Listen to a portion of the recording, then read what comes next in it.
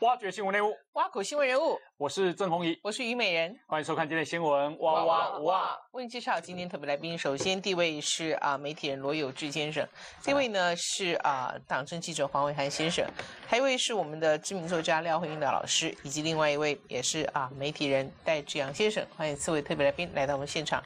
今天要讲的是。无所适从的台湾特有文化，呃，这是文特有文化吗？我想是因为这一阵子的这样的一个讯息还还蛮多的哈。那么这个尤其是情杀案啊，那么从张燕文之后，对，新竹城方面也有一个，OK，这边有台南有台南，好高职又有一个，所以这件事情告诉我们，未来的男性朋友，如果有女性有人跟你哭诉她最近失恋，你搞不好不太适合安慰他。好，因为被误杀的几率很高啊，或者是他需要你帮忙搬家，你搞不好要多找几个人啊。也就是说，人的情绪已经紧绷到这样子。那因为，嗯，记不记得在正节的时候，因为父母不闻不问，大家其实对那父母是有所谴责的。那么张燕张燕文这个呃被已经关进去了嘛，哈，那被他杀害的这个女孩子也经历了头七，结果呢，张燕文的哥哥。二十六日特别到那个灵堂前，表示想要亲自道歉，但被家属拒绝门外。后来这个林小姐的哥哥当然讲，人都走了，没什么好说，也不用来道歉，因为更会啊刺激，对不对？好，那么因为啊死者亲人都在忙法会，家属婉拒哥哥的道歉。得不到被害人的谅解，哥哥跪地道歉，就算隔着口罩，还是可以听到他一直的啜泣声。他甚至于说：“可以帮我转交白包吗？拜托你啦！”哈，嗯。然后呢，他说：“帮我转交，不好意思。”那么带来的白包跟花束送不到灵位前，他情绪崩溃。张彦文的哥哥就一直说：“对不起。”啊，这是其实这阿兄嘛就为难了，家己弟弟都不好过，好，家己弟弟做这块的代志哈。那我觉得对张艺文的哥哥，我想讲说，你到了，表达了，OK，本来人家就没有必要接受嘛，嗯，对不对？对，人家不一定要接受嘛，对。那所以，可是你有到了，你有表达了这件事情，也就表达了，对了，对不对？哈，到灵堂上香是给自己一个安慰，但我觉得自己对方，我觉得没那么重要。因为我看了那么多的命案，因为我我跑的命案的到灵堂上香，光这四个字，我我我我刚回东升去把那个资料方面一找，随便也四五十团。我们看多了这种场合。可是之间中间我们特别讲说，这个特有的文化就是说，你去人家你讲你作秀，阿你无去人家你讲你拢不闻不问，哈。那么这个，所以这件事情就是我们的文化到底需要我们怎么做？可可是可是我就想说，那个家里有被害者的话，刚开始这种反应就是说也正常啊，正常啦，我是觉得这样子。但是如果就是说，等于说加害者的家属去的时候，去道歉的时候，我觉得是不是也关乎以后量刑的轻重，还有和解的数目什么好谈什么这些，有和解那个刑期是不是才会稍稍微会考量？所以我觉得加害者的家属去的时候，其实有这样的一个意义在。你去，你不要，我一再一再去展现我的诚意，最后能够谈了，对不对？那可能，我我想他们，我不能讲说没有这个目的的，但是去那种就说总比没去好，啊对不对？那现在就是说还有一个，就是说因为有都交给专业的礼仪公司来打理啊，有没有可能家属不要亲自出来接待，就由礼仪公司的人出来处理，也是一个缓冲嘛？要不然的话，其实都很为难呐。你请假都不来港港致意哈，我干嘛？其实家属心情，我觉得也很复杂，对不对？我觉得是两边呐，因为你看，你看，你我们现在是站在家属立场来看，那你如果对站在质疑者立场来看，今天一个任何一个，譬如小冬瓜出来好了，小冬瓜出来接待，我会觉得说。啊，家属怎么说？你隔一层纱，我一直说啊，那是不是家属不愿意接受？是不是？我如果站在我质疑者的立场，我是没有办法达到那个圆满。那我只是我觉得要看质疑者他的心理。我觉得张彦文他哥哥是满心愧疚。我看到那个画面跟那个那个不会是假的，嗯那个是是是那个眼泪不是逼出来的，那个是这已经身心煎熬到个地步。我觉得他的心是多么希望说你能原谅我。当然，当然这个过程并不容易啊。这个过程你你要人家一个原谅，我跑了新闻这么久，大概只有十，我看。也没有二十分之一，我有看到灵堂里面是好结果的。以马伯公原谅，一起来，以起公，一起先这样，不敢要求原谅，就说他真的是代表家属，对，代表这个呃杀害者的家属来表达歉意，我觉得对这个这个心情是很清楚的啦。不被接受那是很正常而。且我觉得这还要分好几点，像刚有志讲到，我们像我们在跑社会新闻里面，这种画面几乎是每个礼拜都会遇到，几乎了。那其实在我我的这个经历中哦，我曾经遇到过那么多次，但是我真正碰到有家属有原谅过的，就是一次，真的是一次而已。所以我觉得这个东西是要看你家属的那个宽容度，跟你对这个事件的思考。也就是说，与其呢，被害者被害者家属本来就不可能去原谅你的，也不必要去原谅你，因为这事后都是交司法解决。对那加害者不管是本人你没有把我的女儿当人，对，我还要用神的这种宽容去对待你，会不会对，我太为觉得这个本来？就很正常，有反应。对，所以我觉得没有什么好去去苛责或怎么样。但加害者，我觉得刚刚老师点到一个很重要的一点，加害者有心机的加害者很多。然后，尤其是说，不管是你还有机会出来上香的，或是有家人出来的，那很多人都在寻求说未来的量刑。对未来你有没有和解，然后有没有到灵前上香，有没有跟家人道歉，这个都是关系到后面的量刑。那真正诚心诚意出来说道歉的，其实哦还真的不多。我就说以本人来讲，家属当然也许他真的是考量到我的家人犯了案，那我真的他没有办法来质疑，我来替他质疑。但这个东西，也许他是真的有心，但家属要不要去接受，我觉得这个就是另当别论。对，吴彦立他会播凶。上次大家应该还记得郑杰，他在捷运杀人事件的头七那一天，他爸爸妈妈是跑去江子翠捷运站门口，在那边对的，他其实就是捷运站的站体，嗯，然后献花，对不对？然后跟记者哭嘛，然后念了他们的声明跟信。当时就有很多人讲说，有那么多的亡者哦，那个时候当时就已经有四个嘛，你怎么没有到他们的灵前去跟他们的家属道歉，而是跑去跟一个水泥墙道歉？嗯，所以大家就有这样的看法。他其实我个人的感觉是哦，谁做的谁担呐、嗯，是郑杰做的，郑杰道歉呐、那他的爸妈因为可能教导上有不周，所以要跟社会致歉。可是也真的，如果你既然要致歉的话，四个受害者的家属，其实你应该一定的致意。我还蛮肯定这个张燕文的哥哥，因为去呃死者的灵前上香致意，并不代表说我我做完之后我就解脱了，然后你就原谅我了，不一定是原谅，就是我们今天有做这个事情，我们就要有个修刷。这种这代是不好都修刷啊，我我马上去修刷。嗯，就说我今天我的弟弟他不是他哦，是他弟弟杀人家林佩珍。嗯，那弟弟现在被收押，不可能去去质疑，弟弟也不一定想质疑。可是我当哥哥，我爸爸妈妈没有把我们的这个弟弟跟这个教好，那害得你们家失去一个女儿。我去了，我希望能够给白包，我希望能够给花，我能够致意。你不让我进去，我也不怨恨，但是我在门口磕头。那你要说他是不是为了以后的这个所谓的有心机的加害者家属，希望能够量刑降低？可能那是后端律师的一个，可是。不管是不是，我都觉得应该啦，因为你港人抬起嘛，啊，你应该可以走嘛。那至于你去了以后，家属不让他进去上香，我觉得也不用苛责，因为他当时其实现在才一个礼拜，对我我我我不想要看到这甲阮囝抬鞋相关的，甲阮仔甲抬鞋相关的人，黑个人的哥哥买了一枪一等去，他们也没有咒骂他哦，也没有说你搞戏等你什么没有，就是就没有让他进去而已嘛。所以虽然这个我们今天讨论这个所谓无所适从哦是很难，左右为难，不过。我的看法还是蛮直接的，该做的就要做，做错了就要道歉。对杀人家女儿，那哥哥愿意去帮弟弟这个悔过就去，但人家人家不不让我进去，我就在门口质疑。其实说在，如果是我啦，嗯，或许再过一阵子没有那么多记者在的时候，我还会再去，嗯，也会关心一下他们之后的生活或者怎么样，因为毕竟是我的弟弟，让你的家庭从此以后不再一样。谢谢。而且而且我我我还讲到一个也是也是一个重点，嗯因为我们讲说这种被害在台湾哦，犯罪被害人最近这几年是比较有一点点保障，所以就是说被害人如果就是遇害之后，我们的那个就是法务部这边会提拨一笔那被害人那个奖那个救助金给你，他以前是完全没有的。那如果我们碰到说今天是一个环境家里环境比较差，我们就讲说像林佩珍好了，她妈妈是打零工，然后把她一路养大的。那好，那林佩珍她可能有些收入，她是要支付家里的生活支出。嗯，那我们这些加害人，在欧美系国家，包括日本，他们在求处量刑还有赔偿上的时候，他们是开始一年一年算。譬如说，哎，小戴，我今年遇害，我二十岁，我现在有个工作，月收入五万块，他开始算你，你可以工作到六十五岁，每个月五万块。然后你可能还有升职的机会，然后看再多加一点点，然后你可能还有什么其他金额补助起来，那个是一大笔，他是要你加害者这边去负担的。那台湾不一样，台湾就是一次赔偿制，嗯，可能法院判下来啊，仅要千班，仅要我爸班，一次就赔偿制，所以很多的加害者他可能就想说，我就来赶快道歉，哦我就来赶快去谈和解，我能够一次解决就就算了。但是有多少这些家属会能够想到后端？譬如说啊，这些这个被害人家属被我的小孩杀死了。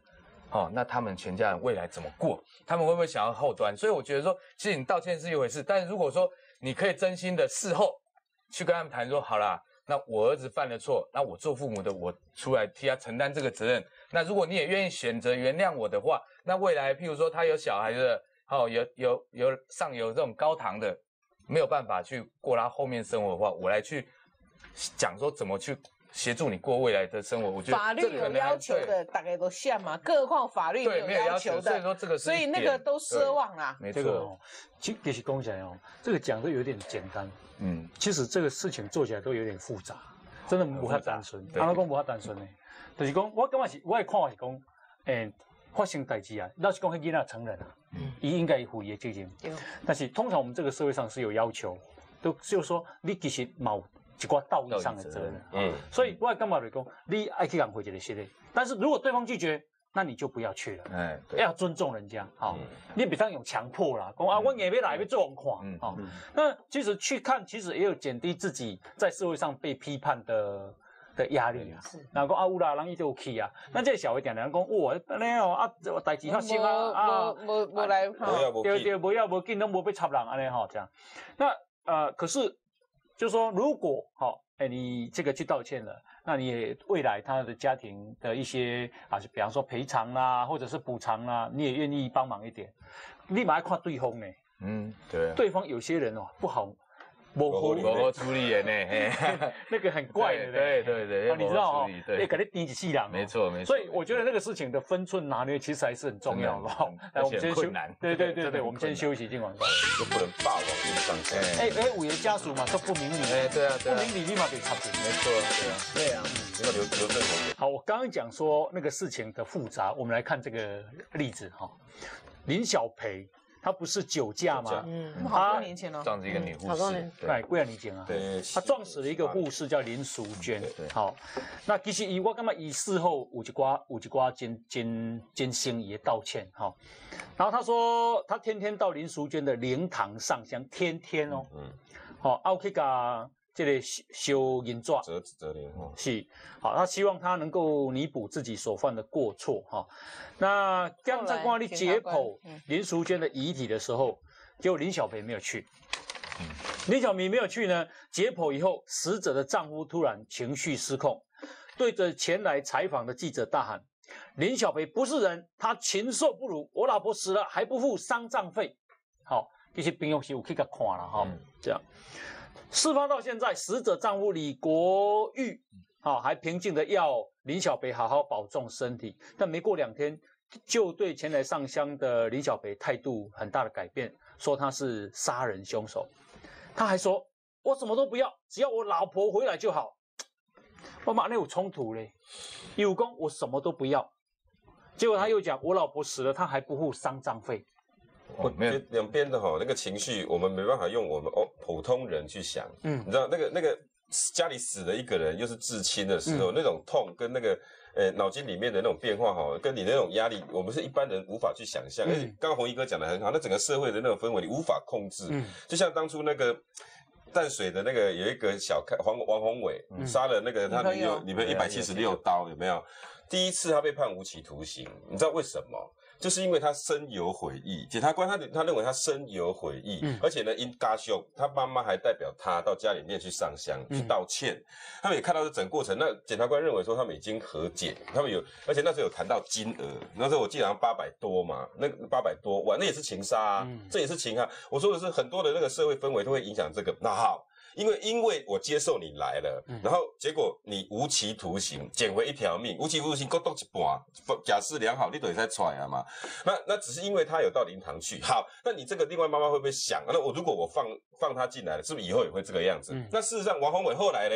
王宏伟后来在在监狱里，他妈妈去看他，结果他他他他跟王宏伟探探监，他妈妈跟他讲说，好，我现在跟那个张雅玲他家已经谈好了，说按照我这八百八十万解决，我们给他八百八十万，你说这样好不好？嗯，结果那个王宏伟应几顾为，他说好呀，先不要给，对，我们先看看他们的态度是什么啊，我被割透，我们再来再来那个再来再来杀价，先让先看状况。结果因为这一段录音，就呈堂证供，法官一看到。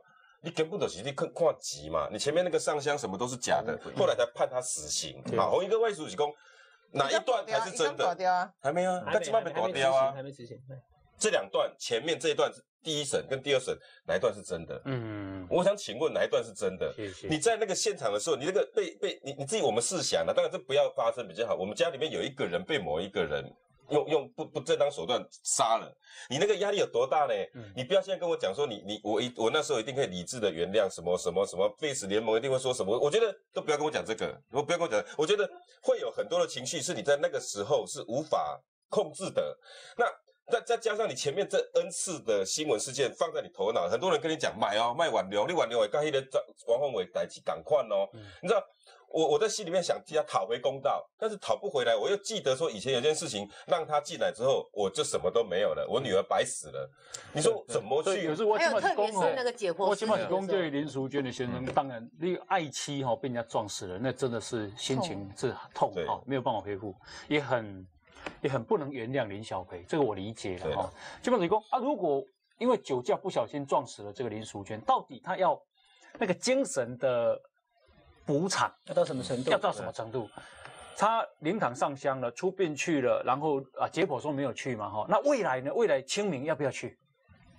嗯嗯，对。到底是要告什么程度？其其实这样个，拍者那个那个，我给家里孙都不一定等你清明那我来啊。他他别讲啊，我就说他做错了，到底他要他要到什么程度？到什么程度？清明闹能够去，我就又不是又不是亲人，又不是什么东西。我认为就是说，应该去的，表达诚意。但是人家没有跟你要钱的时候，你还是要表达说什么？我你现在需要怎么样，或者说我能来谈一下，或者什么？我觉得加害者要先谈呐，不管怎样，就加害者要先谈这个东西。你说商场会没有付，就是你来过来抓，啊，你就叫个可怜可怜对不？啊，你也无讲要付什么钱，付什么钱？我讲一遍，其实虽然伊是。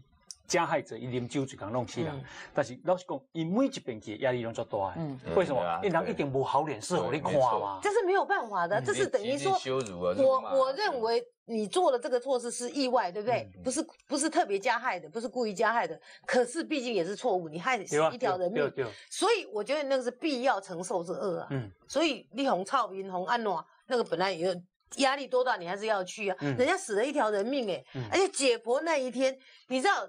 亲人火化、亲人解剖那是最恐怖。不要说你过关供起来，他都要没人供哎。法律责任啊，我法律责任我该负的我负啊。啊，其他道德责任到底被负到什么程度？对了，外供是不是先？如果先谈到和解，法律责任会起嘛？我我几户诶。对了，我会看我钱。但是据我了解，李小培不是那么有钱呐，所以我觉得他这个态度也是必要的。你你知道我的意思吗？那有钱嘞。你意思是讲无钱的，有钱的，有钱的就较下摆啊！我若去，你若我臭面对吧？我有去过啊！啊，无就看法律安怎？看偌侪钱？哎，看偌侪钱再来讲啊！有的人是都都较下摆嘛，都是这样的嘛。但是我觉得李小培应该是，我觉得因为是女性，所以其实在那个在那个生死这个关口上，她会比较。我觉得女性是比男性感染性大一点，嗯，会比较那个创伤会比较大，不管如何。我根本因为觉得困难的是讲，我什么都不要，你只要还我一个老婆，或还了我谁，就不可以。可以气化了，那个那个你把它当做气化。我们我们看过那么多这种刑案发生哦，其实发我们发觉有一个现象，就是说刑案发生当下或之后的两三天哦，就被害人的家属哦，常常可能还处于一个对混乱中，混乱空啊。第一个，他可能还不他不相信说他家人极度悲伤，对，极度悲伤，他也不相信他亲人走了，所以这个时候，也许啊，我去跟你上香道歉，或者是干嘛爬进去啊，他可能还不知道这个状，头脑还一片混乱。后啊后啊这个你安内的后安内哦，但突然间解剖，刚刚老师讲一个重点，哦，解剖那时候，哎，你看到对自己在那切割这样切割的时候，或是出就是告别式那一天的时候，家属一定要在旁边看。对对对，一定要。所以你你看，你看那个自己的亲人的遗体被凌迟，哎，你知道你知道那有多大的震撼？不能在外面等吗？非常残忍。检察官都要多震撼呐对，家属都要在旁边，对对，我觉得那个就亲人最不能所以会突然都压起来就是在那个第一刀划下去对。如果我不想解剖，你硬要解剖，我可不可以选择不要看？那个不行了哦不是那个人一定要要解对剖现在解剖是检察官说要解剖就要那可以解剖我。们应该有权利要求不要自己不要看吧，选择不要看因为因为。这个那可以找是怕事后说是怕你引起解剖我对只要任何一个家属就好了，要直系吗？对，没有啦，一任何家属都可以啦。对，嗯，所以说哦你看那个，即使你不要说你不进去看啦，你在外面等待，或者你想到你真的，那结果是很大的震对。外面等跟在里面看，现在结果还是一样，你那个心情是最解所以剖室啦，哈会俩拱，然后家属会在一个解剖室，会隔着一道纱门，那个那个门，然后会会有法医跟检察官他们在里面。那妈妈你不想进去可以，但是你会在门口，嗯门口那边你会在门口。你想想看，他在被凌对，迟的时候，但是里面的所有声音啊什么，你都会听得到。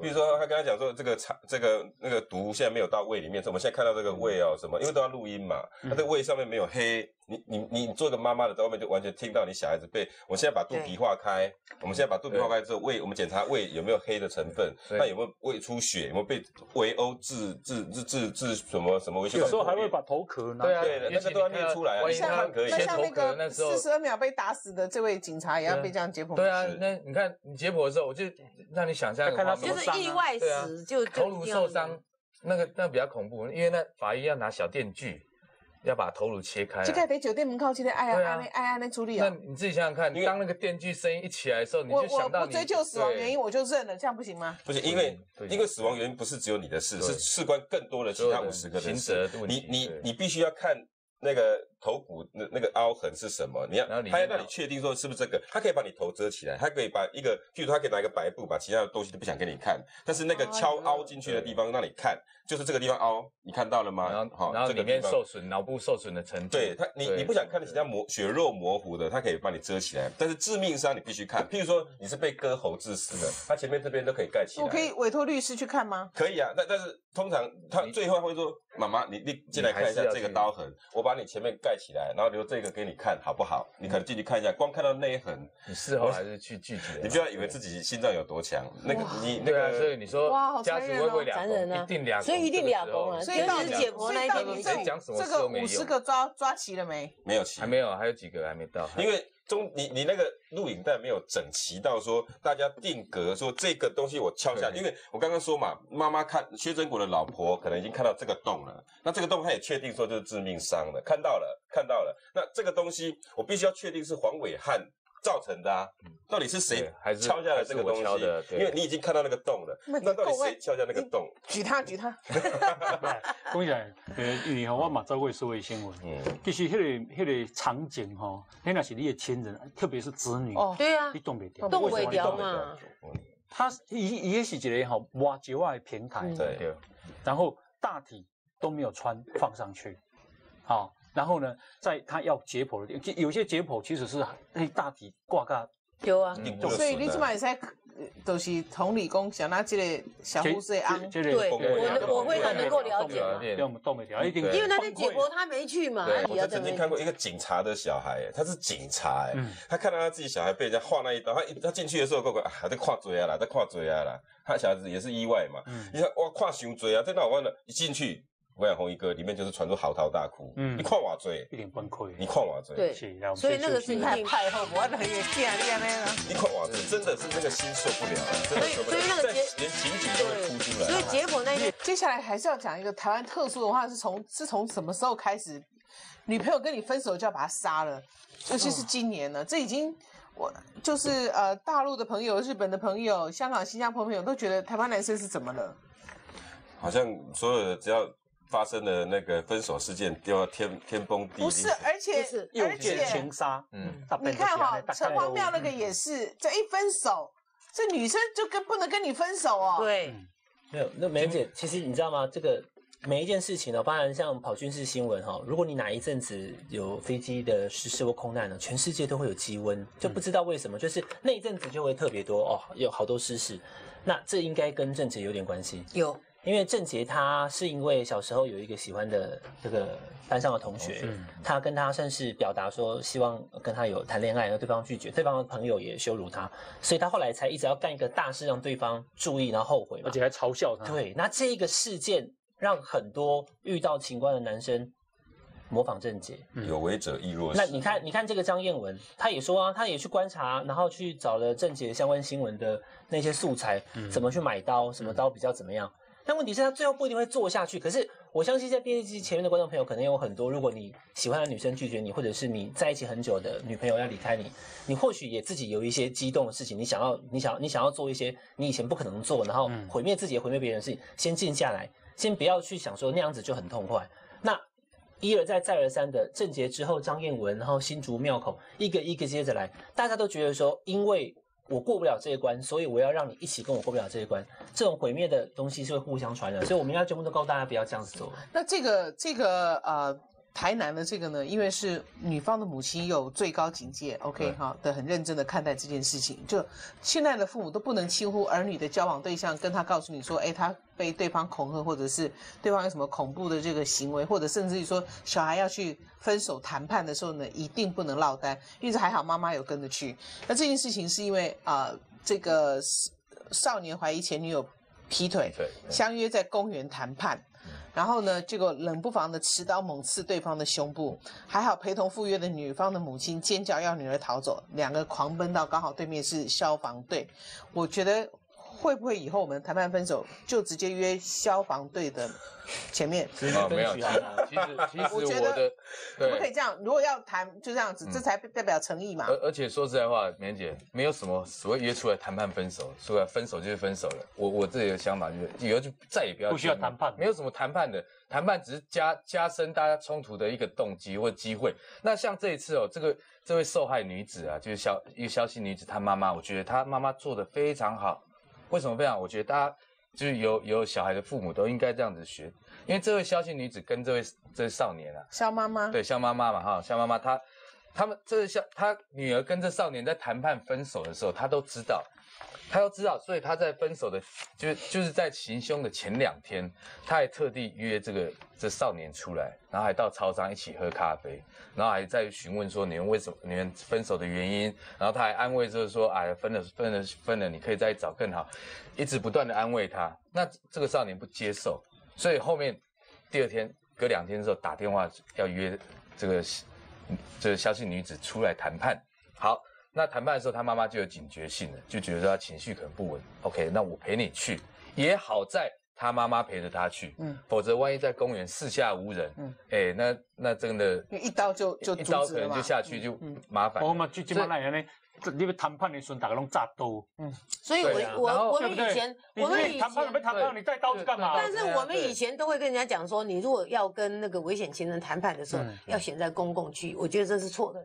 选在消防队那边或警察局前面是对的，嗯，因为不然真的太危险了。下下之策了。对，下下哎之策没有办法了，因为他已经那么危险。我觉得消防队应该后卖拢用一个谈判室，不是不是不是，谈判区我觉得谈判区没有没有，我觉得有一个那种什么分手咖啡座，OK，也有商机哦。因为不是警察局都有茶嘛，嗯，有有泡茶。那，我来盖壶泡得泡得苦。对。啊。不是都不让盖壶了哈，嗯。有些热心民众会提供饮料嘛哈，我觉得 应该有个分水分水呃分手。咖啡座，OK，就在那边谈，没关系嘛，你要只用这样的话，你付费嘛。嗯我觉得，比如说你必须要这样，你要付费啊。就便民一下了。咱的警察局你讲收费，不是啊，你他不必做这个，他不必做这个行业的，不必不必做这个业务的你，给他提供多少年还没进来？没有要警戒的。是啊，对，后来呢？那所以所以警戒也要收钱。所以所以后面你看不要太让让警察太忙。那天那天肖妈妈在他们他们两两者之间谈判的时候，他妈妈还很聪明，就是站在他们中间，嗯嗯，对，就是刻意站在他们中间。可是那他那个男的是对着他还是对一刀对着他把妈妈推开，一刀刺到他他女儿身上。还好他拉着他女儿赶快跑到对面消防队求救。可是哦，说实在话，事后的发展，我觉得蛮令人意外的。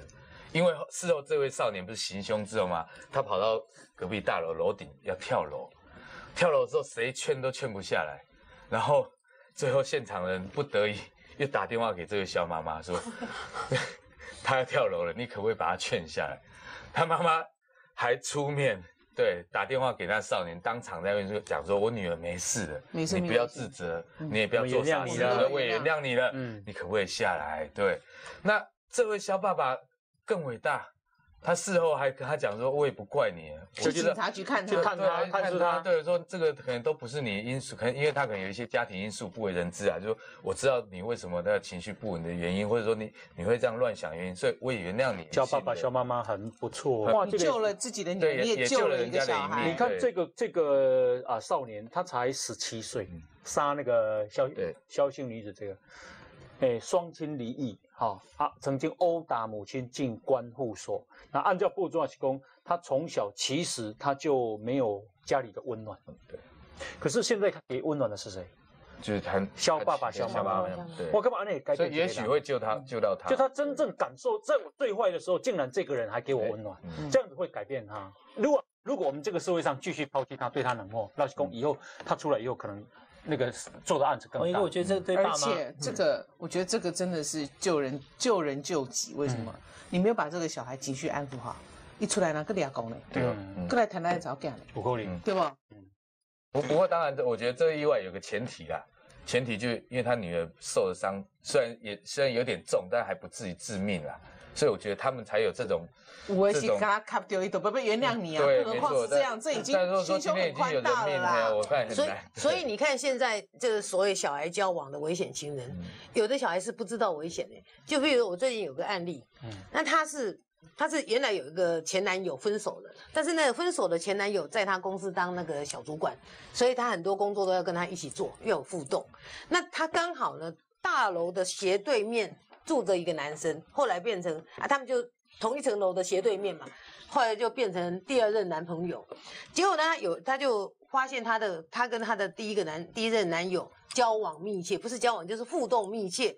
哦，阿德韦塞嘛，好，就会也也开始摔东西的，摔一让大家摔一样东西，不会说全摔，然后叫做你的绝对不能，就说你要跟他保持距离，即使怎样啊，那个女人就说，那我要辞掉工作吗？这个工作还蛮好的嘞，人家也不可能辞掉工作嘛，就还在撸的时候呢，这个女的就觉得说，那一天有个异性男朋友。不是男的朋友了哈，不是男朋友，这是异性男的朋友约她出去吃饭是老朋友，那她就觉得说，她要跟这个男朋友报备的时候很麻烦，他一定会阻止他出去，所以他就含含糊糊的在出去的时候跟他讲是朋友。可是呢，这个男的本来就多疑嘛，所以呢就一直在打电话给他，然后等他回来的时候就敲门进去，开电脑查他的查他的电话通联，发现就是男生嘛，打过去是男生嘛，哇不得了！那天怎样，就是把他的电脑、电视、家里所有的全砸了全砸了，砸了，而且把他骂到不堪一闻，但是没有动手打他。嗯，可是呢，因为住在住在斜对面，那个体温就是晚上睡觉的时候就会想念对方的体温，所以互相就又又来往了。又搞暧昧，但 不是就到他房间，因为本来就是男女朋友嘛。哦，可是就在这样做完以后，他当他好好的奇怪，时候，他也有体温，我怎么没有想那个？真的，他好好的时候，好好的时候，两人就好像他就说，女孩子说，他就像一般男女朋友那样相爱对他啦。可是可是并不是那个结果呢，等到那个他做完以后，有时候压起来，开始跟我骂你这不要脸的女人。做完以后就够牙。哎，都够压，都够压哈。所以这样两个互相互相提分手了。然后女孩子居然来跑来问我说：“盖老师，那是不是我的错呢？我是不是要遵照他的等一下，啊，那个男的朋友是真的男朋友还是不是的，就是，所以他就说他的他的底线就是你不能在我之外跟任何男的单独出去或单独约或单独什么。哦，那他居然那个女孩子还写信来，就就写 email 进来问我说：“老师，你觉得我要听他的话，我就牺牲掉了所有的异性朋友，我就听他的话，这样好不好？还是说我要现在要应该要怎么做？”我说：“你现在赶快逃，嗯，趁现在他跟你提分手的时候，人家跟你提分手，你就 OK，我赶快搬家。”我们做这样假丑，弄假唔丢丑，然后造成大错。对可是很多人都不知道这个危险。那个张燕文那天也是啊，那个帮他搬家那个，那个根本不是他对男朋友没错。，多问青红但皂白，是但是我跟你讲，很很多女孩子碰到这个东西要有警觉性。嗯然后我跟他讲说，你最少就是离他远一点，然后半年内他还一定还在在观察你，嗯。因为他还常常有时候会会跟他讲说，哎呀，你最近很乖嘛，都没有跟其他男生出去查他的那个通联，所以我跟他讲说，你半年内不能交新男朋友，或者说这个病人要牺牲嘛，不然要让他完全死心，觉得你已经没有那个，哦，这种男人哦，讲实在话，硬要逃了。改变能能，分就分对，，我就叫他分，但是你分的时候，他还是会观察你哦。哪有说跟男生讲话就不行？但是就有这种人啊，所以这就是有问题的人呢那啊。他以后生活压力有多大？对，所以我说你不能，所以你要跟男女生讲要有这个正确观念，这是不能在一起的。嗯可是报告老师不能在一起，还要有如果这种男男生不能在一起哦，现在大概没有人可以在一起。没有啦。现在这个这是时代素食爱情太多了，有些男生不会这样有些男生不比例上会这样，太多了，因为我的真的哦我们还好了，真的太多了。很多，但是不会那么多了。跟我一样，他波兰跟我一样。啊，不然你要怎么办？你要被现在告。选举嘛，开公司，我我会去用人。嗯我想男外外看的是讲，诶，这个女生哈，我我们当然不希望我们的女朋友或太太劈腿嘛。对，啊，可是如果真正劈腿了，那劈腿了，人家要去要分手，那就分手了嘛。那平常崩的那个必然干败，还是他刚好碰到真爱嘛，就放手嘛，对不对哈？不是啊，基本上是安尼啊，基本上就是讲，诶，重则发现他劈腿或者没有劈腿，炸多啊了，不敢抬啊。对啊。好，那你你刚刚讲跟男生讲话就不行了，嗯，我交五个女朋友，我被人家劈三次，我到现在不是活得好好的。没有，那我就问你，就在你啊，就在我，一天到晚被人家 你有问题啊？不是。啊，不是，我是我觉得，因为我回想那那那三次，我我我个人认，对老师我个人认为说，我我为什么不在意？我我也很难过啊。我回想那那那那是这样第第二个女朋友，她是因为她她分手那我跟她在一起九个月，他跟我分手那天跟我讲说，我我在在你跟你在一起之前有一个男生，对不起老婆又要讲一些事哈，不要再生气。你买个狗啊，那个那个之前有一个男生追过我，但是我先答应跟你在一起，我觉得我有一个梦还没有圆，所以我必须再回去跟他在一起，圆完这个梦我再回来跟你在一起。我说你在讲什么？你对，你在讲什么？哎，你脑袋很清楚嘛。哎呦对啊，梅人姐，你知道为什么那么清楚？因为我觉得有自信就不会去 care 这个事。我说，他说我再回来，对不对？我说你不要回来了。没有啦，即使他有两个交往过，还是觉得以前那个比较厉害。这样比较嘛？我就我刚才是讲，就是说，那现在大家如果一直在讨论说，在分手的当头应该怎么办？我觉得那个是已经太慢了已经美糊了。我觉得应该往前去，往前去看现在怎么了？我我其实我我跑新哎，闻台湾男生有那么爱吃醋啊？没有，其实没没有信心我我发觉啊你现在现在有个调查，男男生的告白也不行，哎一个一个来。就说哈，男生现在是比女生弱的地方，就是连告白的时候，在有三成以上的男生不敢的告白，因为怕被拒绝。所以女生觉得说，如果我喜欢这个东西，他没有告白，我去告白，拒绝也没关系。嗯就说我觉得挫折容忍度那的时候，波浪，这么。我不太知道，就我觉得，我觉得那个窄了以后，那个那个网络上的东西，他在那虚拟的世界以后，他觉得要应付你这真的人，那变化不是能他能够逆料的，哦他就哦就慢慢没有信心。然后我觉得说，现在的小孩子是因为没有运动还是怎样，就是说他在性生活方面，就是说就呃快，就那个快闪侠很 很快快多枪侠啊，快枪侠很多啦。但是闽南语啊，跟酸跟酸出来了。我你把这当什么节目我不是那个意思啊，只是我说，哎就是我的意思，就是说快枪侠太多了。哦我一直觉得男生好像慢慢在觉得，我我觉得自己没有信心。我觉得其实你相爱能够很好的，就要有信心，被劈腿要有自信。这个先讲来。没有没有，这这样其实我我我每次去采访这种所谓的情杀，或者说男女分分手产生纠纷，我都常关注到一个问题啊，嗯就是说他们如果说大家同业或者媒体啊或者警方提供的资料没有错的话，我发觉有一个共同点，他们都是所谓的这种素食的爱情。所谓素食爱情是讲，他们可能都认识不到呃一个星期、两个星期啊，然后或者是透过网络。哎，搭上线之后，出来见面两天之后，然后就变男女朋友，然后恋拍恋变男女朋友之后就恋热恋，热恋之后分手就产生杀机。嗯，那可是哦，我们就这样回想到以前，虽然以前那个年代不见得说什么素食爱，没有，不是说没有素食爱情，只是说以前弄个虾皮油、虾寡固，对不？你你你你跑 爱瓦固，情红利你你就瓦固可能追了一两年，但是已经双方彼此有好感了，我还不敢说说出来。然后你看我，我看你，其实都爱爱的要死要，我还是不敢说出来。什么啊？没有，就是说你已四经 G 的时代，对，没四 G 没有。宽那么宽四 G 是对没错，但是世界越快，心则慢。对我跟慢你讲啊写信，他这样就久了，对就是说至少对对对久了之后，你会发觉个性。也许可能前面那一年哦，我们已经爱爱的要死，后面我们还没有正式宣布交往的时候，我发觉哎，原来你是个烂人，我就赶快在还没有告白之前就就渐渐分掉。对但现在不一样啊，现在都是哎两三天就上床，然后我以前的人安尼你会，好不。好我都感觉讲啊，那不会那不会进。我最近我我最近还碰到一个匪夷所思的案例，哇塞，这这真是匪夷所思。我我有一个朋友，他他在外面租房子，嗯。然后他那个是公寓嘛，三间房哈，三个男生住，然后他追他的一个女性的同事，哇，他好爱那个同事，就约他到这个房间里啊，晚上来看电视啊，看电啊，然后弄吃喝喝小酒啊，这样子，他就想要借机接近那个女同事，啊，就好久都已经进你房间了，没有没有，不是房，就是他们租的那个房子公那个客厅啊，嗯。哦，啊就很好笑哦，啊里面两个拢房啊，两个拢房啊对，他另外一个室友回来，然后就加入说啊啊你带新朋友来哦，嗯。我说小戴你带带新朋友来，我们一起再喝两杯，啊结果这我这个朋友先倒了啦，他先喝醉了，然后第二天早上他就不知道发生什么事，然后他就要进厕所的时候，嗯嗯。然后刷牙，刷完之后他走出来，就看到这个他想要追的这女孩子从他那那个室友房间走出来，然后他他他说我弟去问他说你们做了吗？就他女儿说做了，他说你怎么可以这样对我？我要追你耶！他女儿跟他讲说啊你怎么现在才跟我讲？可是我已经答应要做他女朋友了。这个不要追吧，是不是真的啊不是这样就已经被他做，对，我说一个晚可以回啊，变成换手嘛。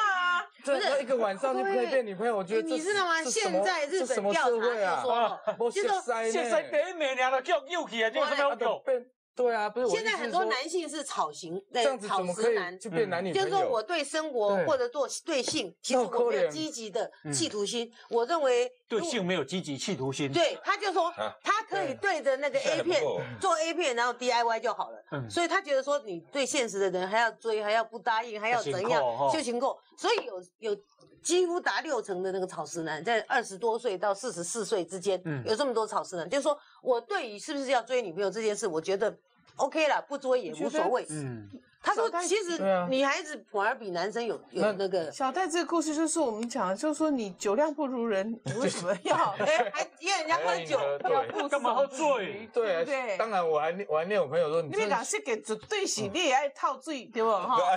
是不是安呢？哦没有就就我那个朋友他也不要天真不要哦，他真的他天真到什么之后，他跟我说，他说哎他说哎哎兄弟啊，我问你，我我跟你讲，我要去找那个男的，我要找我室友谈判。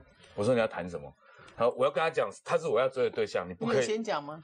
啊。你有先讲？现在没有都已经事后要讲对啊，我就所以我就他说我就说事后要去讲啊他。谈判什么？对，我说你要就谈什么？说要不要让人啊家人家都已经那个啦、他都苦言对，人家都已经那个，你还他说他一直想要去跟那男生说，就那么一次就那么一次他是我要追的对象，所以还给我为什么？这样子我遇过一个医师，他的故事真的匪夷是所思。他后来他是当然在他是精神科也算权威了，我觉得跟他很多人生经历也有关系，是未婚妻哦，已经是未婚妻了。然后因为他的好兄弟从美国回来啊，就是以前高中时候都念很好的学校嘛，考医学院的。然后后来他的朋友去就去美国读书很多年，他知道他要有未婚妻了，那他回从美国回来，特地约他见面吃饭。嗯我这个医生朋友坐这里，未婚妻坐这里，好朋友坐这里，对不对？OK，好，当天吃饭嘛，就吃那么一次饭啊。那天雷勾动地火然，后对啊脚就这两个天雷勾动地火，然后五天之后，他跟他要解除婚约，然后他跟他在一起，然后一个月之后，他嫁给他，一起去美国了。嗯然后他这一个月，他公体，他说他那个时候 还在还在医学，还在住院医师啊，还是实习的时候。他那个同学也是医师，不是那比医师还还会赚钱。那是好朋友哦。好朋友好，在哪里？你那个朋友一定要很高兴，对呀，早点发现呢，及早治疗。因为他跟他之间两个人显得很不扎实的感情没有，他们觉得很扎实啊，因为那个美国回来没有绝对不扎实没有赚的比他还多我。跟你讲，没有啊，也也也 OK 觉得那而已啊。个人不只是经济条件，对啊，他可能想要跟他去美国，他根本就不是他们是那种道，根本就他讲说，不是找到了后来解释，真爱啊。他就说那种缘分、那种吸引力真的是没有办法。没有，其实我觉得及早发现，没有可是那个及早治疗你的这个朋友，他这个朋友，这个比如说我这个朋友，他的他的哥们兄弟，OK 哈，也完全肆无忌惮了，就是喜欢就追，反正你还没有结婚，你要那恭喜他他一次他后来这怎么这个怎么叫朋友他一次呢？发现，他一次发现后来好吗？感情好吗？没有没有了。结婚以后感情好他的好朋友没有把他当朋友，自对己的未婚妻居然也上，对然后这个没有把他当成真爱的这个女生，只是把他当成一个饭票而已，嗯就是看到看到另外更好的饭票就跟着走，对一次解决两个问题很好啊，对啊。我第四个女哎呀，哥就是这样。你起码公家加两岁，你买公公也是，你买公是为什么有第四个出来？我是替你哎，那结婚以后好吗？我替你的生命财产来，我们先休息。担忧。那个呃，我整一个 讲其他可以，不 要再讲前女友。你希望他们好还是不好？我觉得不会好，那很多人听到我讲这故事，都非常的积极的问的是，他们有没有好？这个女的好不好？都没有人问这个医生后来好不好？医生后来一定会好，因为他自己是精神科医生嘛。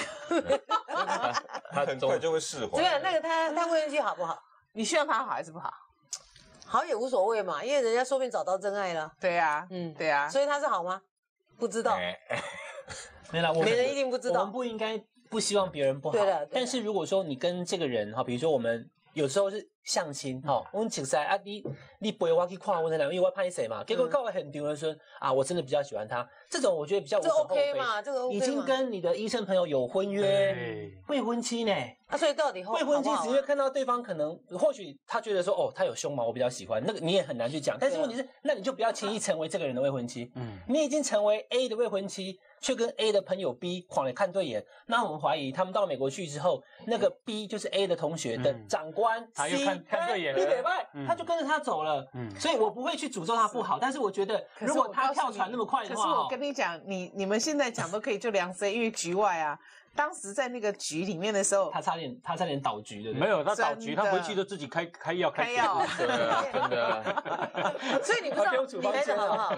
后来离婚了。后来离婚，离婚对不对？一定的，一定的。因为 C 跟 D 还有 F 都来了，对不对？Who knows？因为他很快就会 switch 换对我我。恭喜来了哈。所以你那个还只是对 但我已经不能忍受了，我光是听我就不能忍受。你只是想要追，没有追到。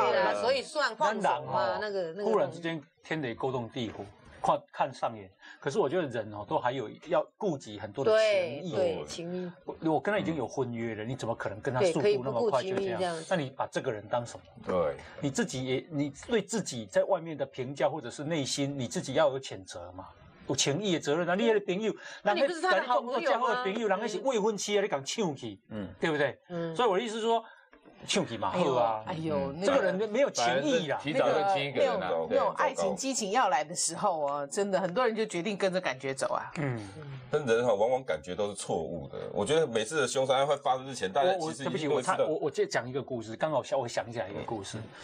迄是我周遭的朋友，啊，迄年纪较大，迄个时阵伊嘛有一个真好的头路，吼，啊嘛已经啊去去拄到一个人已经订婚啊，订婚啊，准备结婚啊哦，一个女生，哦，她也是很喜欢他，哦，这个这个惊为天人啊！哎，啊有啊，有人迄个查某嘛，你甲动，讲你不要再来纠缠，我已经订婚了，快要结婚了。那他认识那个男的吗？那个男的认识这哪一个？不男的不认识，认识。男的不认识，但是伊吼，你知道闹智商也敢劝过来，闹智商也敢劝过来。但是讲实在话，生活二三十年之后，那个太太很后悔，嗯，那个太太很后悔，为什么？我他觉得没有珍惜她，对，嗯。抢过来？我有一种对，没有珍惜她。他动过那无那无呢？我觉得人有时候是这样，就是说啊，他一时安尼看就好诶，啊，但故相处了，你才怎样真正的个性对。我意思是说，啊嘛不幸福啊，嘛不快乐啊。那个形同是真的婚约，只是一个一纸据文而已、啊。真的。嗯，啊，你知道我这边也有一个比较老但是，以内心我谴责以一对一景会已经已经订婚的订婚的那个未婚夫，，哦他对对他很愧疚。很愧疚，他一辈子都很愧疚。红一哥，我们常常讲说，这个最解渴的就是白开水啦。嗯嗯，虽然白开水它不甜，也没有任何味道，嗯嗯，可它对身体最好。那你一开始喝下去的时候，你就觉得说，哇，这个好平淡哦。在男女交往的时候，我觉得也是这样的啊，就是强摘的果实不甜。嗯嗯，他用非常激烈的方式，在那一阵子，他一下子把他对你的 passion 全部都用完了。我一定要把你追过来。嗯嗯，可追追过来以后，可能反而就觉得乏味了，他就没有动。勉强的事情哦，不会太好了。强摘的果实有时候还蛮甜的，你讲，哎你是偷，那是偷摘。我讲一个熟摘我讲一个哦有点熟了以后你讲逃吧。我讲一个有点我生活那个给你哎，我讲一个有点哀伤的故事好不好好？就大概就是我们晚几再晚个十年左右，还是五年左右的那个那个年轻人，他们同样都是一个失踪，那个延平延平的中学还是延平中学的样子。然后男生功课很好，女生功课比较差。可是那个男生在高中的时候就爱上她了，高一的时候就爱上这个女生，所以三年呢，早上去女孩子家接她上学，放学跟送她回去，然后就这样三年都感情很好。可是那个大学的时候，男的考上台大，女的考上那个静宜。嗯啊，你知道静宜那时候女校多夯吗？在那边呢，舞会不断的。这个女的，那他们那时候没有没有大哥大嘛，所以就是说固定就是女孩子在打的公共电话回去给那个男孩子，就是两个这样，就是只只能互动，哎台中台北这样子。去到那边不到一学期，那个女的就不接男不打电话回去，因为有什么每天开不完的舞会，真的啊，因为多么曼妙的男生，好多有趣，女生如果对。又是什么英文系，然后对又是对对对对又漂亮，你知道我那时候同那时候呃，我我我就在补习班我在补习班教书啊，然后那个学生写来，他说老师，我怎么觉得我大一的生活跟舞女没有什么两样？对。大巴都在舞会啊，新舞会会。搞了一个月，嗯，好，这这个学个学大男生就不九月开学嘛，对不对？迎新舞会就搞了一个多月哦，OK，因为然后呢，接下来就耶诞舞会，圣诞舞会，对，耶诞舞会。然后就寒假了，你知道吗？所以他从第一学期觉得自己跟舞女有什么两样？你看中心大学的男生比较比较花笨嘛哈，那那但是那个东海大学的有一些还蛮洋派的男男生啊，或者另外别的学校，因为那边男校很多近于一个女校，所以他不到一学期他就已经把这个男生三年的感失去音讯情都忘掉，断训了，结果这个男生就被二一嘛，嗯二一以后家人把他送到加拿大去嗯，从此没有消息。这个女的就这样玩玩玩玩到三十五岁结婚了，嗯呃，就生下一个小孩，小孩生下来就离婚了。所以呢，然后那个时候他看到我的信箱是 Glory G L R Y Glory，他突然就是发狂的就崩溃了。他想到那个男的那个英文名字叫 Glory 的样子，所以他写信来跟我就哭，就是就可见很悲惨。他说他又他曾经打电话到他老家去要找这个人，找不到人了。他姐妹回的电话，就他假装是别的同学，他不敢让他知道是他。他说他他的家全部在加拿大的，这里他已经不回来了。嗯，所以那个女的就说，失意落魄，离婚之后就开始回想到他的好，嗯但是已经来不及了。嗯他说他问我说，他要不要就直接。他可以问到加拿大的那个地址，他去。嗯我说你现在去干嘛呢？你现在已经四十了，对不对？他也四十，他也四十了。那人家有家庭，你又去把人家老找未必有那一下。家庭啊，你怎么知道？我跟你讲，那个那个男孩子真的伤心到，那个父母也把这个女的当成一个蛇蝎什么类、嗯类似的。那个男孩子从台大整个人生就完全变转了嘛，嗯个性也大大变了嘛。嗯所以我是觉得说，你不要玩一玩到四十岁还以为你还十八岁姓什，么？你知道吗？我不知道。不知道，因为我们节目有在加拿大有播出。哦，真的真的哦，真的我觉得那男的未必结婚啊，对呀，说不定还没有。那是干？嘛呢？你你这样伤害人家真的很想要去的话，因为他现在也已经一个小孩离婚，我觉得他可以默默的去看看是不是他的生活，那也不要去打扰人家的生活。对嗯，但是这是个缘分，他现在又想起来了，我觉得也不用太去说啊，我可一点别下去。对了。可是你有什么权利再去扰乱？再过三十年，嗯，他一直在想这个事情。哎。，被劈腿四次的话，你我我我刚才一直在想，因为小袋子提醒我不要讲，不要讲，不要讲，但我觉得我还是要讲，因为我觉得朋友的案例啊。第，四次要。不是你，你可以讲你一个朋友被劈腿四次，但你讲没有说讲我我已经讲讲了，我这个人是讲话不算话。这个小戴讲那个技巧你要学 我那个朋友哈对，那这这一场没有用，都知道你那个朋友第四次是怎么发生的？我那个朋友呢，他第四次就是因为啊，没有啦，因为我觉得哈，还是可以让大家知道，我觉得我我的处理方法真的比较不会像发生这么多的这个啦，嗯因为那时候我在追某一个是当然啊一个一个一个某一某一个别呃别台的记每者。没个女生就好了然后某一个女生，某一个女生这样不会。讲那么清楚。那那那那那时候那时候我没有没有车子，那想想追他，那觉得自己很贫穷，这穷酸，那想要出去玩，那刚开始都骑摩托车，觉得在女孩子骑摩托车很丢脸，那我就跟不会啊另外一个另外别台的同事说。另外一个男生，另外一个哎男生，对对对对对，现在当主播了嘛，好了，然后好，我们讲那么详细的，好了，我不阻止你，继续吧，继续吧。越要往里，对，你要算了自己灭亡，天也救人。跟一个男生借的车去载没有没有喜欢我没有，我后来请就说，哎，你要不要一起来？刚才一起来玩嘛，哈。那我也请那个女孩子也带一个女孩子，因为大喜欢这样子嘛，哈，我们那那个叫，哎，你也带个女朋友，我带个我的男朋友，互相联谊介绍认识。健康联谊，这个叫作对比较好厮杀。对，哎我好意，结果车子开来了，这样子，混合双打，以前以前是抽，以前是抽机车钥匙，现在是抽房间钥匙。双打，混合双打，不合商打，有点啊，好，好来，儿子继续，捉对厮杀嘛，对，好，然后就开车就上阳明山去玩。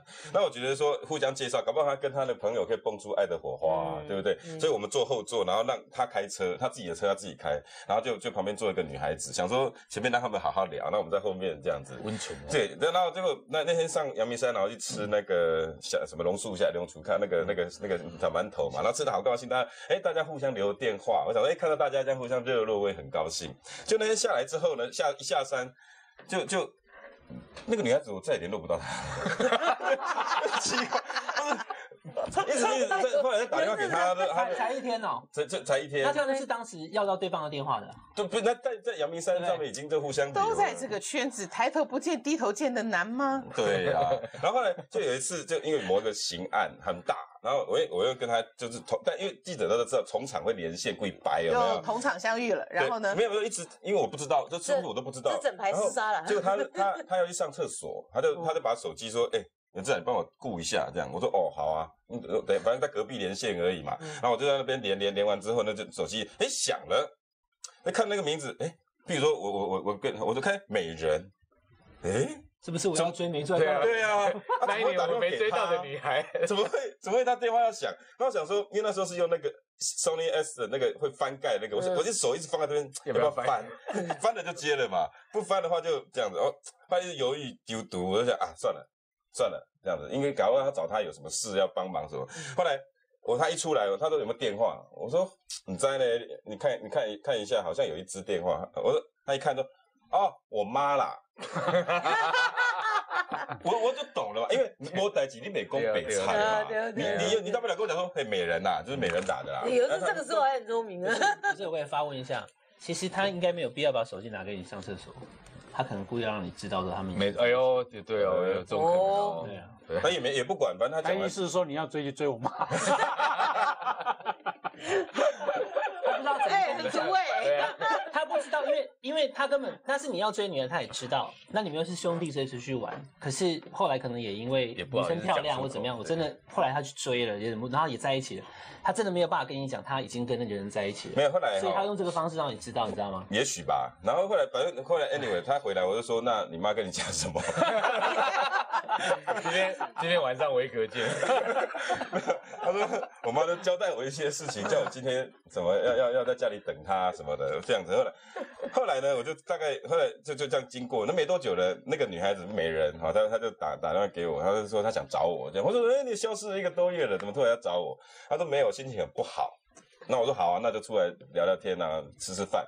边吃啊，每吃到一直哭，从第第一天吃，第二天吃，每天哭，每天吃，每天哭。我说你到底怎么了？他说啊没有啦，那就就因为这次心情真的不好这样子。然后后来没没大概两个礼拜之后，他说那我当你女朋友，讲。那我就说啊，那当然很高兴啊，真的要死要活的，现在好不容易回来，我说好，那我们就就就在一起。但是，然后他说，但是我有一件事情要跟你讲。嗯，我说你是不是跟伟汉在一起过？我直接就给他吐垮了。我说，他说你怎么知道？他说，我说我有一次就接看到他的手机有你电话，然后他说后来说他妈接的，他跟我讲，嗯，他妈就是我。然后，然后他们他那天就是那一天，他找他到他家里面，他们那天就就是慧英老师讲的，就发生了那样子的关系，然后后来就在一起了。我，然后后来。我我原谅了，我选择原谅了。我要讲的是，如果你们有觉得不对，我觉得就 stop 了。但是我是笨，我觉得他一定会为了我而改变。我想相信很多人一定会因为这句话而在一起。结果呢，在一起一一年呃两年四个月之后，他一模一样的理由离开我了。他去也有另外一个人当别人的妈因为那时候刚好发生那个 SARS 期间，我太久没有跟他见面，结果他有一个男的对他特别照顾，他就跟那个男的走了，就走了。我说我说走，我说你为什么要走呢？我对你那么好，还原谅你前面那一段。他的理由就是因为你没有照顾我。所以我就说，一个人的人格特质都是这样的。那我我觉得我也是，因为我二三都被劈都被劈腿，我觉得我的人格特质也有问题。我觉得我有认，是不是都会接受这样的？不是人格特质，有时候是体力。我呵呵，体力没问题啦。我我我就觉得我自己在某些人格特质有问题，我给自己许一个愿，我跟自己讲，我一年之内我不要接受任何的感情，我所有的女孩子，所有的。呃，你自己觉得哎，他不错，都不要这种念头，全断。所有跟女孩子出去机会我都不要，我全部都没有。一直我跟自己讲，譬如说我十二月十四号，我就到第二年的十二月十四号之前，所有东西我视而不见。嗯，我觉得后来就遇到好的，所以我觉得是不是应该沉淀下来？可是我干嘛讲啊？人生那是你的，到不了应该都是你的。不，你讲的行情好好，我要规定我自己这一年都要视而不见，表示一直有人在你面前是啊，那你还克制自己视而不见？是是是是啊。那你对那种每天张开眼睛要看的制作人，他怎么回？他是看不到，人家书本会飞过来。我我长情那时候还，我以为他你那时候也知道，应该电视圈好乱，你很为很为难为汉呢。对，我也不晓得该怎么说对还是说不对呢？我我我讲吼，人生吼要有情义啊，因为我看到这个新闻，这个是野孙啊一起收养的哈。孙啊，这阿妈名乃嘉润哦。这孙啊吼，一个还未嫁，一个还未娶，一个迄个女生四十岁，查甫三十几岁，这款人应该是唔好娶嘛，唔好嫁。嗯，对不对？嗯，无情到这个程度嘛。这阿妈，诶，你看，这水讲，互伊啉这水啉到内底已经长青苔。你就讲阿妈，你可以哇，吃三十公分，这连养狗都没人这样养了。嗯。如果你爱狗的话，你那个起立个疙瘩。你你看，你看他阿妈已经瘦成这样了，这两个孙子把阿妈当狗养。阿妈现在被社工给那个安置起来嘛。嗯。其实，洪一哥，我觉得或许我们的社会还有很多这样的一个一个状况啊。我们今天讨论这几个东西，都是没有责任感。嗯。杀人什么，就是觉得我其实我真的很难去讲说这这这个这个孙子为什么要这样子对他们的阿妈。现在的社会哈，给给这些年轻人。太多自由，他们都觉得说，我想要享受，不享受我要抗议哦。那这个阿妈这样子，以后这是阿妈吼，诶，翁已经过身啊，但是阿未过身的少年的时候，因为收养一个女儿，嗯，因为无生嘛，嗯，那个样，啊，个女儿大汉了，啊，原来有这个家人，啊，所以伊有一个囝婿，啊，但是歹势，这对迄个啥查囝甲囝婿嘛，过身去啊，所以生生这个啊孙啊，好，生孙啊，啊，一个查甫，一个查某。啊，孙啊，虽然是收养来的，可是这讲困困在都位了，困在仓库啦。嗯，这仓库，这房啊呢，这不是名城哦。你是这两个孙阿妈起大呢？起大对，正喜对，因为他他他他爸爸妈妈早夭嘛，啊，现一现在一个是三十岁，一个四十二岁。阿妈阿未破病时，阿妈拢在料理因呢。对，好，讲过用这用狗啊夹这个小小脸盆嘛，好。啊，但是一顿才食一顿尔啦，吼，啊一顿佫是迄个啥？有当时啊是迄个厝边亲戚摕来，嗯，水呢，互伊啉，互伊啉即个啥？自来水，自来水，自来自来水可能也无甲换，内底用生青苔啦。讲你若无无兄滚水，伊讲无用啦，吼。然后伊讲即嘛是会啉一啦，然后呢，甲包啥你知道？甲包有足啊，有足啊，但阿嬷已经有啊，吼，因为不舒服嘛，内底可能很久没有跟他换嘛。用塑胶绳手甲绑的呢？伊惊伊手去甲去摸，所以才感觉紧在遐，无去摸袂着。涂骹规拢总是屎尿啦。嗯。偌久无洗身躯，你知无？半年。半年。哎，半年。半年无甲洗身躯啊，瘦成这样，这是应该是骷髅。辉哥，你看他有穿，他有穿那个尿布。对。可是他其实，其实他的，你看他那个垫子上面，对，对不对？不用揭晓。对啊。他表示说，他就是他就是让他这样屎尿齐流都没有在管他的。而且我老公家卖名啊，那也嫁人呐，八十六岁。我今天有跟那个议员有特别再去联络他。这身体不好啊，这一礼拜都死啊。等一下，真正。啊，没人没人，阿妈公要再有心声。伊讲啊，我会死无？嗯，我死有人知无？啊，未死啊，未活，你是要叫我安怎？也未死也未活，他搞不好伊嘛希望伊死死求的，生不能已经求绝望了，他会讲这种话，大家就绝望，对不对嗯？头脑是清楚的呢，求生不得，求死不能哎。我今天特别跟那个议员有联络，我讲哦，到到底是怎么回事？因为我真的光看这个，我觉得不可思议。这得迄个，那个诶婚礼婚礼婚龄嗯哦大大大逼，嗯，啊，拢出兵唔人无人知影，厝边知，有所以厝边有会会上饭，但厝边上饭算好心吗？你知影迄两个孙仔会讲啥？你上饭也放晒嘛？伊讲安尼无你你来亲你负负责清。对，啊，小朋友讲要放晒哎，的就要，甲阿嬷啊就是不要加的对了要甲阿嬷没有没有学习你这个都可以尽量讲出这种食少话了，所以三顿加一顿。安尼，一届一届议员哈，我觉得是真的是做了一件很很好的事情。云林的议员。云林这个这位议员，叫什么？呃，好像叫呃蔡蔡东富，蔡东富议员，对、我真的是深深的替你致敬啊。然后现在他还在持续关心他啊。他说吼，他说他说这个问题比我们想象还要更严重。我说我本来还以为你们写的太严重了，是不是中间有没干？因为因为大家常常会，因为我我因为我今天看到有些网友那个很比较不理智的神话，他讲什么可怜之人必有，我觉得我所以我特别去了解他，你知道吗？这这一对的养子养女，他他那个蔡议员他担心说一定要给出阿妈出力而后，因为他们为什么要让人这么做？你知道吗？坏。记者问坏嘛？他们觉得说，因为这一个月只有七千块的老农津贴，嗯，对这这这一对的那个那个养子，对不是，那个养孙孙养孙女无搞啊，嗯啊，因为阿嬷有一笔财产，他们甚至是他他他他他担心说，是不是调刚刚恶戏？嗯，因为呀，贵心料这物件就继承而已变形因的。嗯如果有这种心态的话，他担心是这是杀人了呢。就更可怕了对，嗯够够他够他恐怖，所以他现在就是想说怎么办？因为现在民众款善款又又全部都涌进来，嗯啊，但是如果这个在善款呢是。如果因为法律有规定，我觉得我们法律是不是应该做？这法律有规定，这个善款哈，如果非直系亲属或者是该处的人，没使没使管，嗯没使有利率管，没使有代表议员管，这一定要影影响啊，一个亲人影响，就是这两个，对，所以你变安怎？就是这仓库讲有虫啊，哎虫啊吼，日头吼，都照照入来内底，分林这个热天几度？哦，三十要几度，三十几度四十度，嗯，真正你讲的名哪较润？较润啊，结果甲送医的时阵啊，要去甲要甲急救的时阵，讲啊有衫裤无？讲无无半领衫裤。对，如果用听讲的迄微胶皮啊，紧甲砍起来，紧紧紧去送病院。要是我讲真若是寒天会死哦？哎，我讲吼，你看吼那有，遮凶死的？安尼偏偏拢老人哈，现在现在世界差这么多，对不对？而且这个房子还是阿嬷留下来的，不是吗？能够车用应该是也做出的。来，我们先休息。同一个社会。我我是觉得说，现在因为没没得怎么说，看老仔人安尼安尼应该北北拢八十五岁吼，这八十人，我即摆讲的是，阮昨昏听到一个朋友因的一个长辈在美国生病吼，伊讲啊，转来伊去看，啊，转来讲，哇，美国这买医疗设备怎么这么好，对老人的照顾，OK 哈，他是他说那个病床太了不起了，他每天去医院就是看那张床，嗯。嗯，好，那个床可以完全整个坐起来，所以对那种卧床的人，你要把它翻起来，有没有？像像一些老人安养中心有没有哈？嗯他要把老人从床上抱起来，现在都不用自己抱，都用机器，用一个毯子，用一个一个一个毯子哈放进去，然后机器进去把那这个用那个毯子更喘。拉起来，然后移出来放下去，不然那个照顾的人会会受伤，所以他会推一台机器。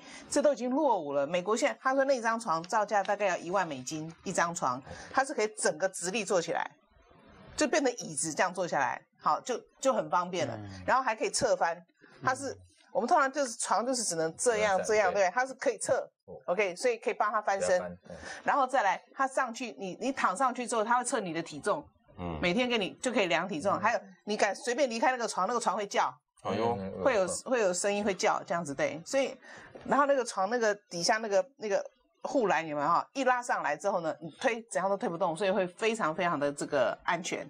然后他们现在呢吊点滴有没有？哈，都还有一个那个警示器，就是他会他在旁边看到什么，他突然叫了，就是 air in tune，就是那个那个有空气有空气进去，所以他赶快来调，这样子都会计时。然后你要一个晚上，你总共要给他滴五十滴，他就是滴五十滴，他也不会多滴，这样子对。然后再来就是说你的所有的那个，他会装进去就装一个管子，大概五个五个五个洞，就是五种东西，你要测什么心跳、血压什么什么什么，就是一次这样子就可以了。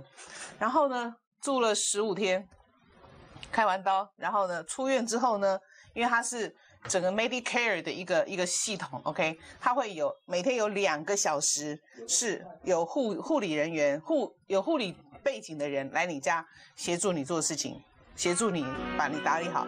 再有两个小时是 helper，就是来帮你做复健的。